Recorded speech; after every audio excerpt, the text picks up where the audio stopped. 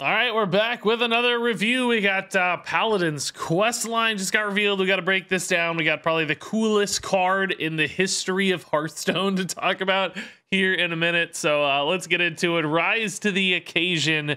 New quest line here for Paladin. Uh, of course, one mana, legendary spell. The uh, requirement here is play three different one cost cards. Your first reward is to equip a 1 4 Lights Justice. The next wave here is to play three different one cost cards.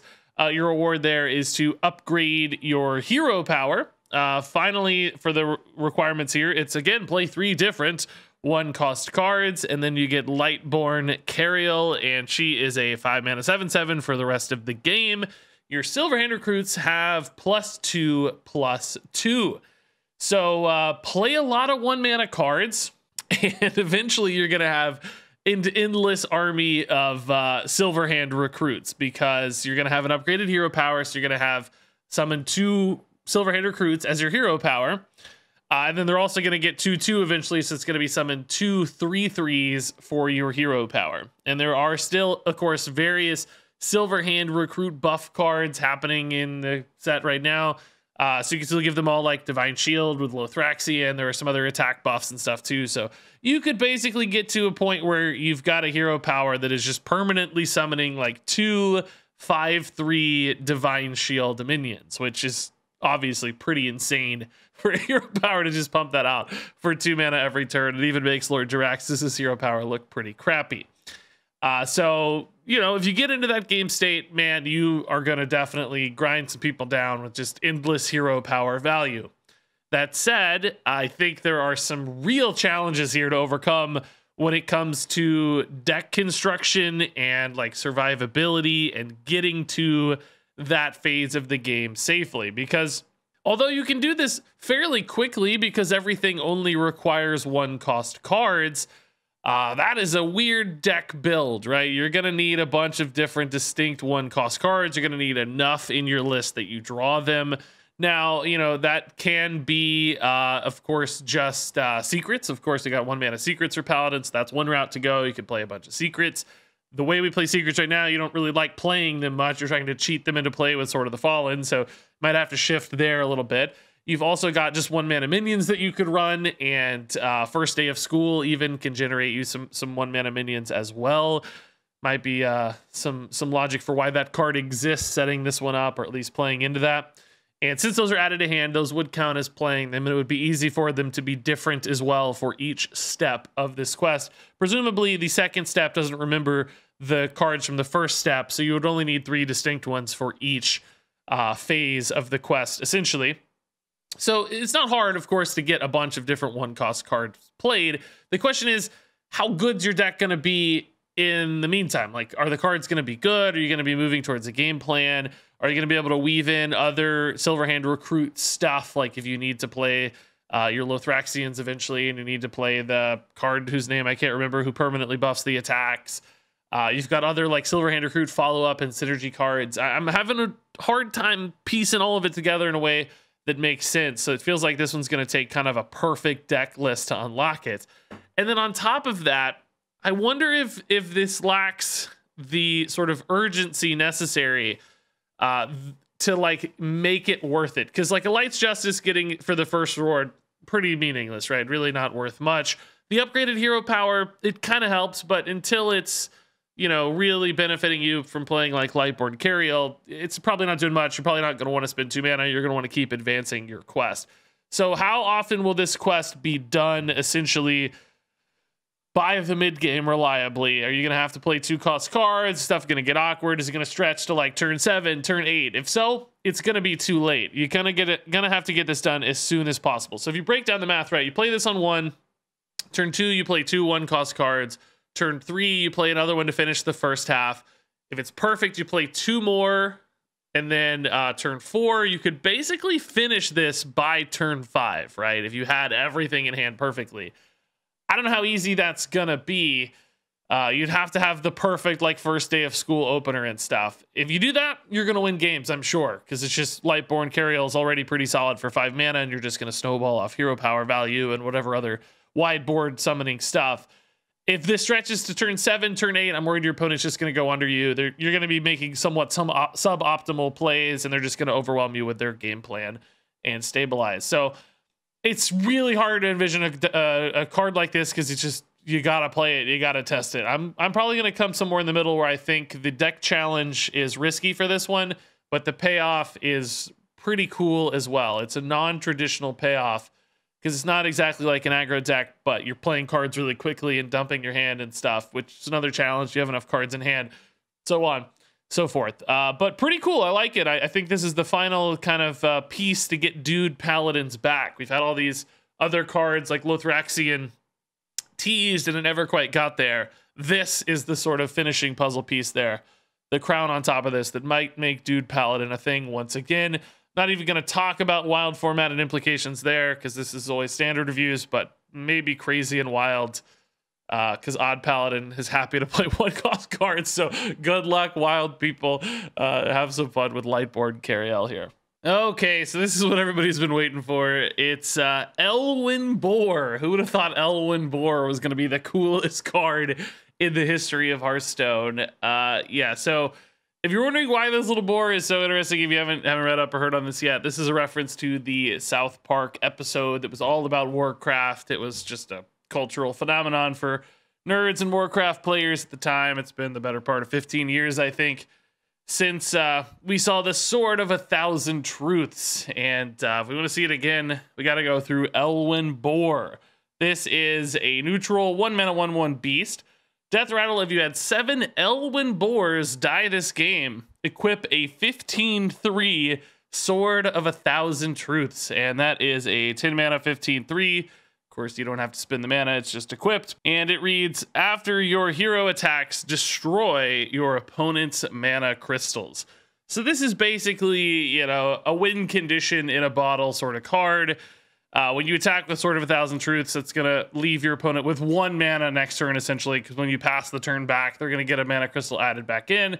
And, you know, one mana is not going to be enough to beat a 15 3 weapon in most cases. It's not technically, you know, game ending because they could have like a taunt that disrupts you for a turn or two, or they could just have a board that you couldn't clear as you're establishing your Sword of a Thousand Truths and they could swing back. So it's not an instant win like Priest's uh, quest line but it's functionally going to be game ending in many cases, much like the old cards Mogu Cultist that summoned Highkeeper Ra.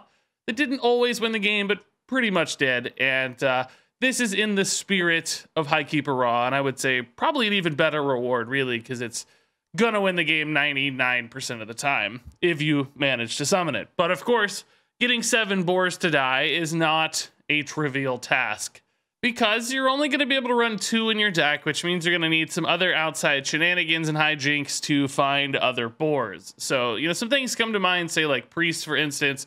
You could have Raise Dead. You could play two boars, Raise Dead into two more boars, Raise Dead into two more boars. Uh, you can discover another boar off their new Death Rattle card. You can uh, use a card like Teron Gorefiend to kill a couple of your own boars and then deposit a couple more boars on board. There are a handful of other mechanisms to kill boars, but it's it's not easy, right? It's going to take a deck that's kind of focused and structured around that. And what that means is realistically, I, I think this will be a meme card. I don't think Blizzard would really print this card if they expected it to actually be viable. It's going to be fun. People are going to do it.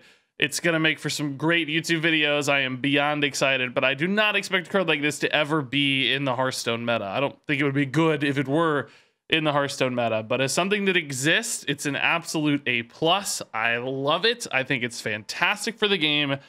I just don't think it's very competitive, competitive or viable. All right, so next up here is Cornelius Roame. He's the uh, papa, I guess, of Tamsin and Cariel Roame, and he is an absolute unit. His art is cool.